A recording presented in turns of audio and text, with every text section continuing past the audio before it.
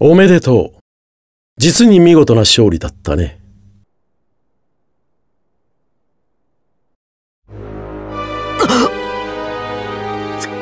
そんな。ラストバトル見させてもらったよヒースクリフ。生きていたか。身構えないでくれたまえ君たちにお詫びをしに来たんだ。詫びだとここまで何の説明もしないでいたこと。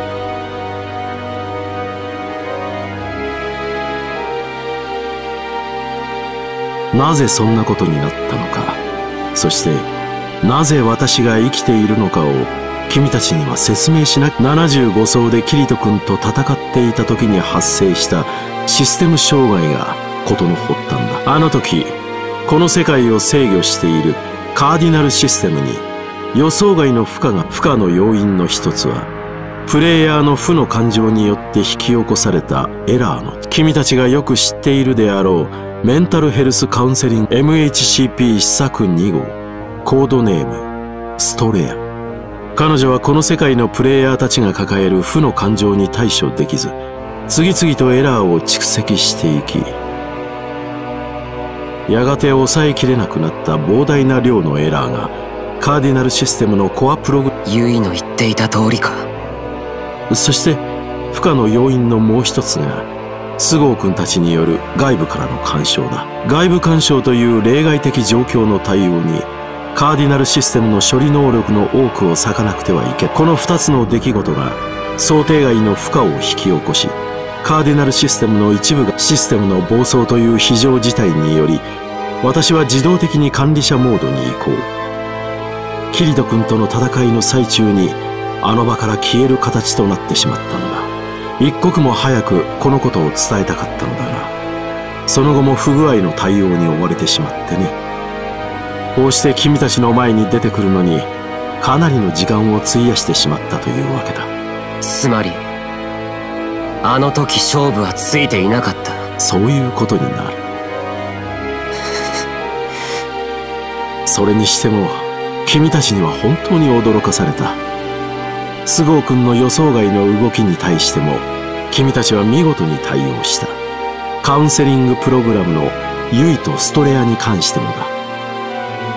どちらもカーディナルシステムのセキュリティプログラムによって消去されるはずがそれやはりゲームの運営には想定外の事態がつきまとうものだな。それが思当たり前だ。これだけ人間が深く関わる世界で全てが思い通りになると思うなよ。もちろんその通りだ。しかし私の思い通りになることもある。例えばゲームクリアの可否。この後に及んでクリアさせないなんて言うつもりじゃ。それはない。これでもフェアプレーを心がけているつもりなんだがね。君たちは間違いなく百層のボスを倒した。本来の想定とは違うイレギュラーなボスではあったがね。もちろんイレギュラーだからといって君たちの勝利を取り消そうなんていうつもりは全くない。そもそも最後のボス戦に遅れたのは私の方なのだから。改めて賞賛を送ろう。クリアおめでとう勇敢なる者たちよ。気に入らないな。数々の比例は詫びよう。約束をたがえたのはこちらの責任だ。そうじゃない。あんたはさっき百層のボスをイレギュラーだったと言ったよな。百層のボスは私が受け持とうとしていたからな。俺たちはこのゲームを SAO を2年以上プレイし続けてきた。そのゲームのラスボスがイレギュラーな存在だっただと。それはプレイヤーに対する裏切りってもんなんじゃないのか。つまり君は無謀にもこう言おうというのか？本来のボスと決着をつけさせろと。今俺が心の中で思っていることを言えと言われたらとはいえもちろんみんなを巻き込むつもりはない。百層のボスを倒したことは間違いないんだ俺以外の全員をログアウトその後。俺。ちょちょっとお兄ちゃん？何言ってるの？クリアできたんだから。一緒に現実世界に帰ろうよ。すぐ。すまない。今ここでヒースクリフを倒さずにゲームをクリアしてしまった俺は現実世界に戻ってもきっと SAO に縛られたままだろう心をアインクラッドに残したまま現実世界に帰っても。そんな大丈夫。すぐよりほんの少し帰る。先に帰って夕飯でも作って。いや。すぐ。お兄ちゃんとまた離れ離れになるなんて絶お兄ちゃんが残って戦うなら。何言ってんだ。俺も乗るぜキリコ。本当のラスボス倒して私も乗る蹴りをつけなきゃならない。暗い。死の。私だってこのゲームにはここでしっかり終わらせないと。費やした時間が。私も残ります。キリトさんと一緒に。リズ。私も一緒に戦うよ。他の人と比べてキリトと過ごした月日は短い。その中でも一番大切なことが困難に立ち向かうための強い心なんだから。大丈夫だよ。キリト君だって負けるつもり。それは。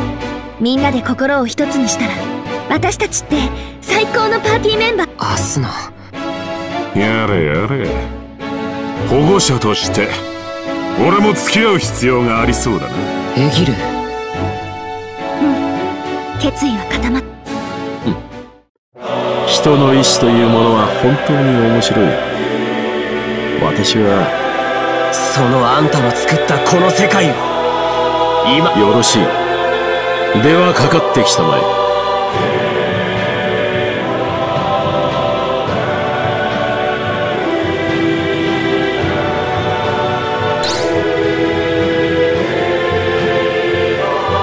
キリト君やみんなと必ず元の世界に戻る。だから絶対に負けない。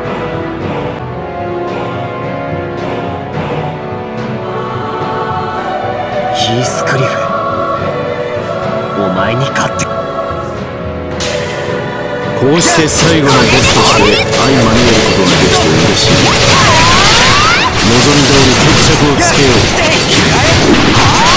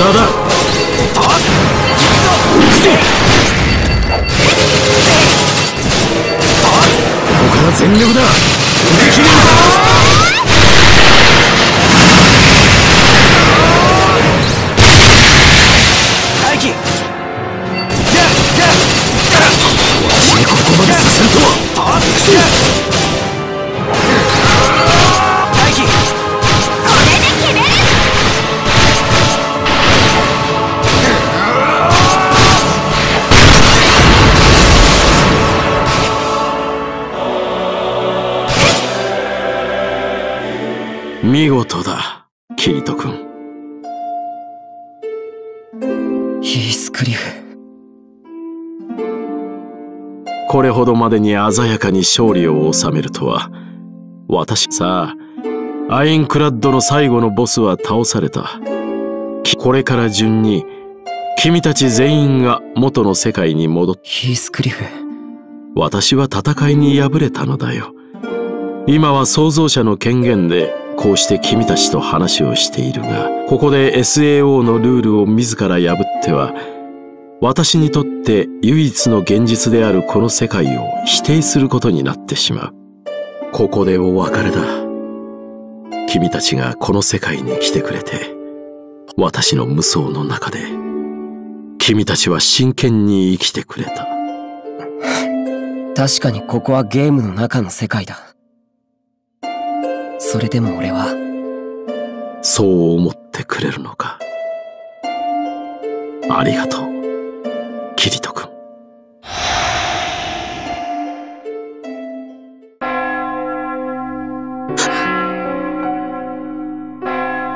ただいまよりの皆様に緊急のお知らせを行います。現在ゲームは強制管理モードで稼働しております。すべてのモンスターおよびアイテムスパンはゲームはクリアされました。ゲームクリアこれ。これって浮遊上全体が壊れ始めてるんじゃ。シリカちゃん光ってる光ってる。光ってるって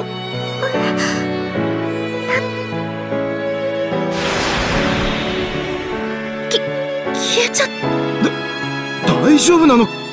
強制転移させられたみたいだけど。おそらく現実世界の転じゃあ長かった SAO での日々。でも本当にこれでクリアなのかしら？ボスには手こずらされたがそれでも幕切れとしては。そうね。この世界がなくなっちゃうなんてやっぱりなんだか寂しいわね。うん。自分でも気づかないうちにアインクラッドでの日々を楽しんでたんだなって思う。あ。キリト君。ほんといろんなことがあったね。キリト君と一緒に戦って泣いて笑って。ゲームの中なのにここで過ごした時間が今までの人生で一番生きてるって感じた。俺もそうだよ。ねえ私たち現実に帰っても変わらないよね。この世界で君と作った絆は本物だって信じているから。当然だよ。現実に戻ったとしても俺のこれはかありがとう。私も好き。愛してます。現実に戻ったら待ってる。ずっと待ってる。でもあんまり遅かったら私から会いに行っちゃうかもよ。どうしたんだ？うんうん。よく考えてみたら私キリト君の本当の名前を知らなくて。それなのにこんなに好きで愛しててネットゲームっておかしいなって思ったの。ああ確かに。現実とはいろいろ順番が違うからな教えてほしいな。現実世界で呼び合えるように。俺は桐ヶ谷和人。あ年齢は16歳だと思う。桐ヶ谷和人君私は結城康奈17歳です。和人君本当にありがとう。君と過ごしたこのかけがえのない時間は絶対に忘れない。現実に戻ってからも。二人の思い出を作り続けよう。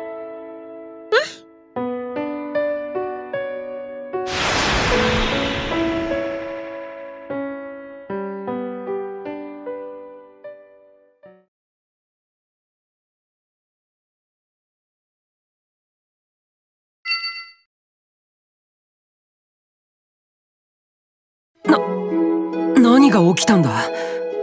ここは一体？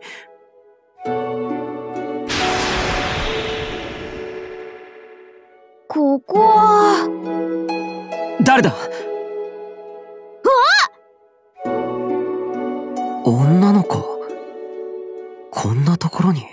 僕はユキねえ君ここはどこ？ってすどこアインクラッドおいおい。ここにいるのにユイと同じ AI なのか？ごめんそうみたい。もしかしてここは VRMA 本当に何も知らないみたいだな。シノンやすぐと同じく。ここはソードアートオンラインの中だ。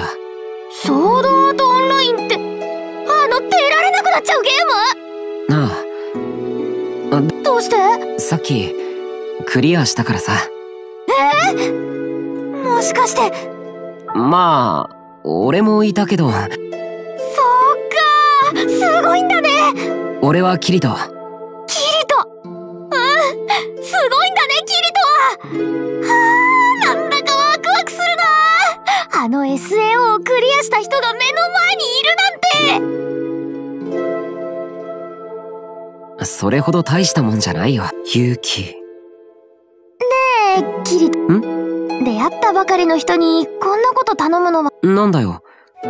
あの、僕と手合わせ。手合わせって。うん。悪いやつじゃないが。僕がここにいられる時間も、できれば、SAO をクリアしたような強い人と、剣を。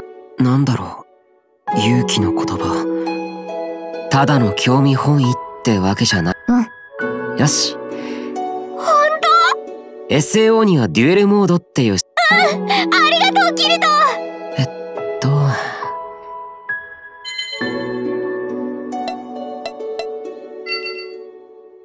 うん。いけるみたいだ。おこれってデュエル申請準備ができてるなら、丸の方に。うん。そうしたら、初撃決着モードを選んで。初撃？一撃で決まるって意味じゃないから。クリティカルな攻撃を相手に当てるか。え、よかった。じゃあ始めるぞ。手加減はしないからな。望むところだよ。楽しみだね。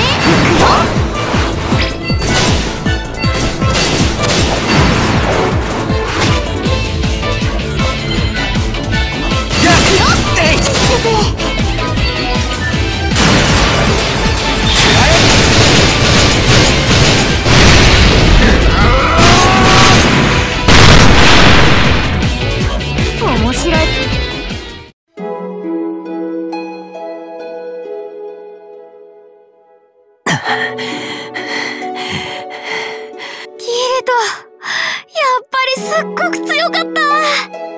勇気もな。うん、僕もそこそこ自信はあったんだけど。そんなことはないさ。勝負は紙一重だった。そう言ってもらえると嬉しいな。でも勇気。ああ、そろそろ行かないと。おい、行くってどこへ？ごめん。でも楽しかったよ。ああ。その時には僕ももっと強楽しみにしてるよ。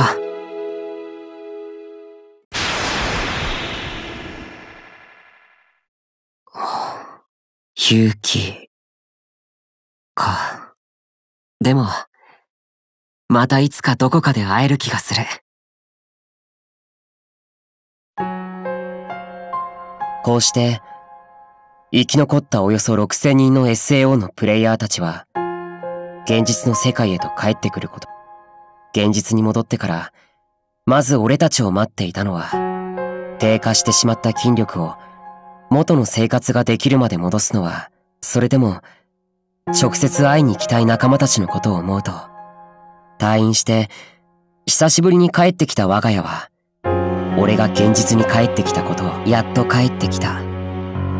と思う安堵感と、ソードアートオンこのゲームで死んだプレイヤーはこのゲームを作った茅場明彦は今日事件解決後に俺を訪ねてきた対策チームの人間から聞いた話ではしかしナーブギアに残されたログから自ら大脳に超高出力スキャニングを行いしかし不思議なのは茅場明彦が死んだと死亡推定時刻とゲームクリアをした日から逆算すると75走で俺と戦った前後にそうすると100走で戦ったあいつは茅場別れ際に SAO の世界をもしかすると茅場はネットワーク上に自分自身をのあの SAO を作った茅場ならそれくらいのことアルベリヒ菅生信行俺やアスナの証言と菅生や他国のこれらの証拠から VRMMO 内での出来事。もちろん菅生はレクト社から席を外すこととなるしかし茅場が作ったこのゲー茅場はコンピューターの中に現実とそうするとこのゲームの本当の遊び方は茅場のやったことはとそれでも茅場の作った世界でのその大切な思い出の続きをこの現実でも作りさようなら。ソードアートオンライン。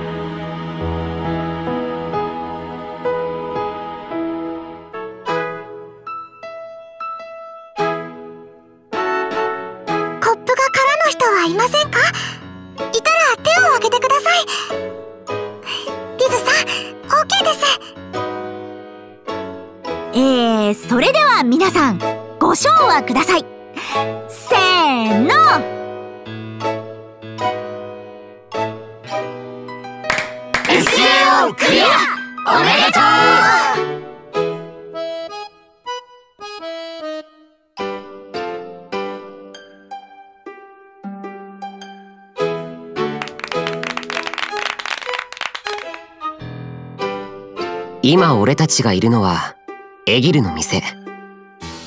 アークソフィアのじゃない。東京都台東区御徒町にある喫茶店大 C カフェだ。そう。SAO をクリアしてからもう2ヶ月が経っていた。全国の SAO プレイヤーが一斉に覚醒したことについての大混乱はま語るまでもないだろう。目覚めた俺たちを待っていたのは検査とリハビリの日々だった。そんなわけでみんなが一堂に会するのは SAO をクリアしてから今日が初めて。アインクラッド攻略記念パーティー。大層な名前だけど要するに SAO プレイヤーたちの打ち上げだ。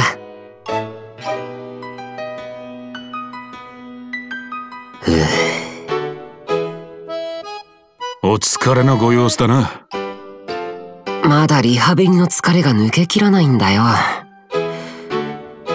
2ヶ月前まで寝たきりだったのにあんなに元気なあいつらがおかしいんだ。ここ2ヶ月はみんな検査ばかりでゆっくり話せなかったからな。久しぶりにハメを外したいんだろう。それにしても相変わらず不景気な店だなうるせえ。夜は繁盛してんだ。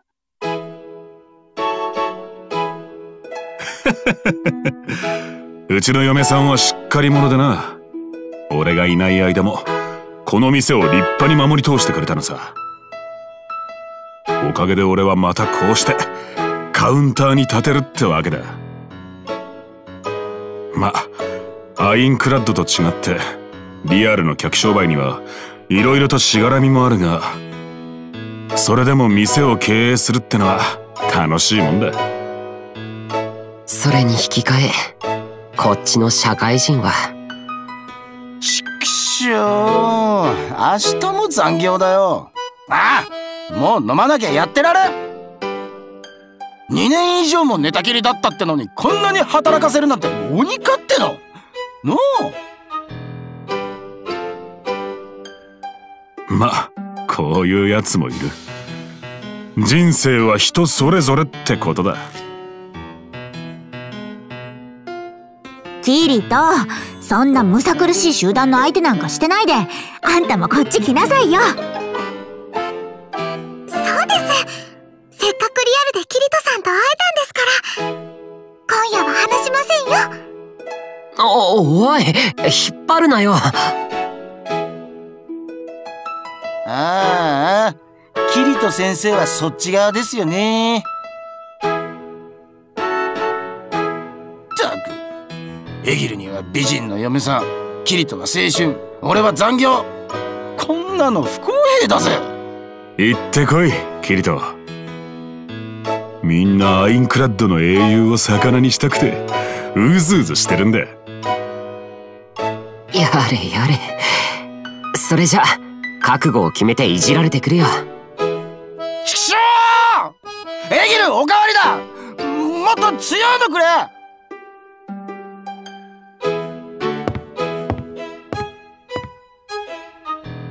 見てくださいキリトさん。これが現実世界のピナの写真です。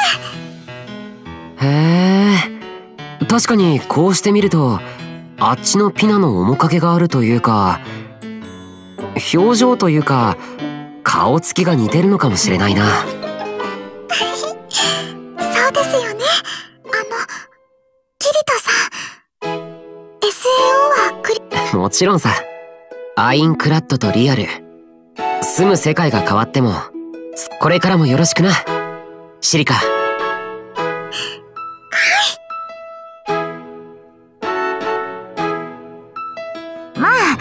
リアルに帰れたのは嬉しいけどやっぱりアインクラッドの自分のお店が恋しくなるわ。あんたに作ったダークリパルサーももうなくなっちゃったのよね。どんなゲームだって終わりはある。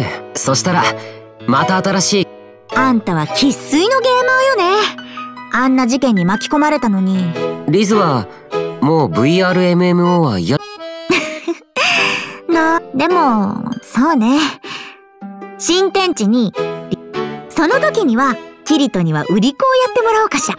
そうすればアスナと女の子のお客さんが殺到しそうだしだそれは勘弁してく。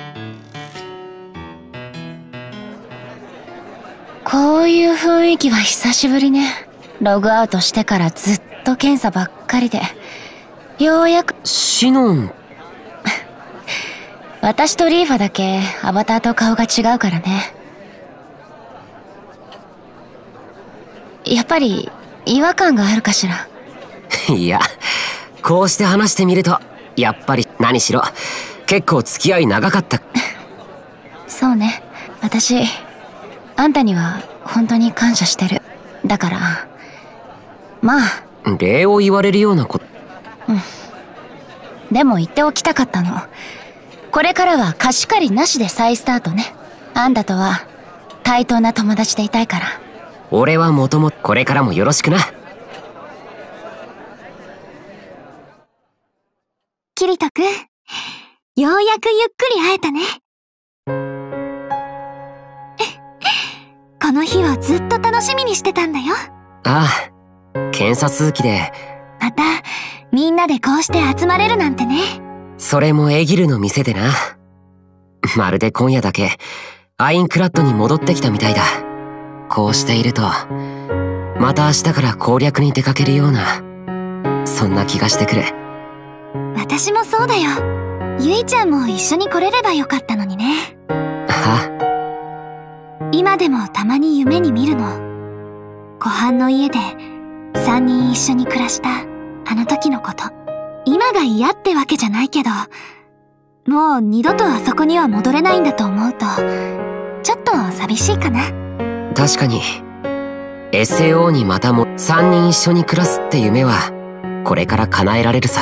ユイのデータはあるし俺たち二人はこ俺たちが本当に幸せになるのはこれからだよ。キリトくんなんだかそれプロポーズみたいだよ。そそうかな。でもまあそれに俺は今でも。わ私だって。ごごめん。俺ちょっと変なこと言ったかな。ううん。そんなことないよ。私たち普通の男の子と女の子に戻っちゃったけど。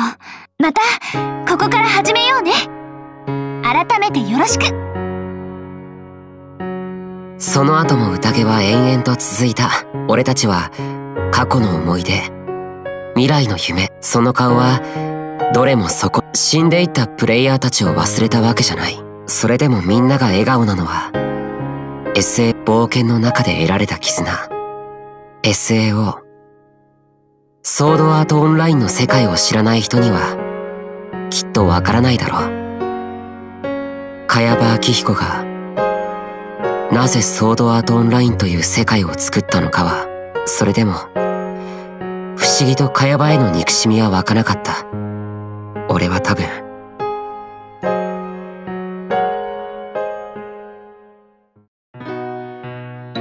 キリあのん？楽しいなって思ってさこんな幸せ。これも全部キリトの。そんなことはないさ。俺はそんな立派な人間。もし俺がフィリアを助けられたのだとしたら。そんなことないよ。ねえキリトはアインクラッドの人はみんなそう。みんなリアルの世界に戻ってでも黒の剣士としてたくさんの人それをずっと でもなんだか別れのセリフみたいだな。え別に俺たちはこれっきりってこっちの世界でも会えるんだし一緒に。他のゲームを。そっか。そうだ。SAO から出られたっていう事実が大きくて。多分。そろそろ誰か。ね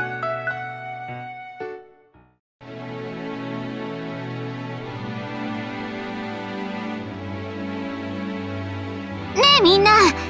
もしこれからアルブヘイムオンライン始めすぐはちゃんがもともとやってええそうなんです。妖精になるゲームですか？空を飛ぶのって夢があっていいよね。そうね。気持ちよさそう。飛び方だったら ALO の世界だった。ほら。みんなもそのつもまたみんなで攻略会議して。そして悪くない提案だと思うが行くところに今度は最初から。もう離れ離れにはならないさ。キリトくんほらこっちこっち。今からやるのか？行こうん。俺はもう一度旅に出る。せさあ冒険に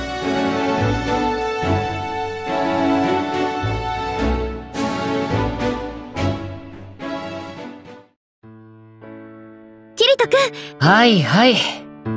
ここだよ。キリトくんに見せたかった景色。いやいいところだ。本当？気に入ってくれてよかった。へえこうしてると現実に戻ってきた。そうだね。これからもずっと。そうだな。現実世界でも。SAO か。いろんなことがあったね76層に上がったら下の階層に戻れなくなっちゃでも76層以上でもいろいろ。それは覚えてなくていいから。あペアルックで街を歩いたり。そそれは俺としては黒歴史な。ええー、いいじゃん。黒ずくめじゃないキリトくんって新鮮なんだよね。それにやっぱりそうだなすごく幸せだったよ。ねえゆいちゃんとストレアさんは今。ゆいとストレ普通に考えれば彼女たちはデータ不思議といなくなったという感じは。二人とも消えちゃったって。ん？ど